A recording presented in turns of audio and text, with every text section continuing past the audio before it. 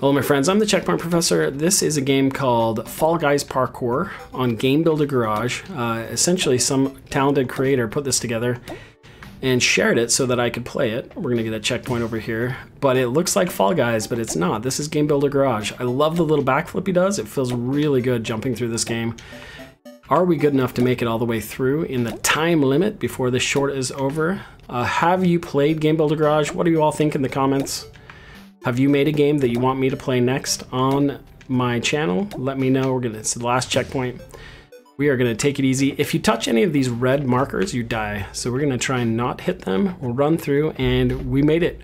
We made it through the game, my friends. See you in the next video.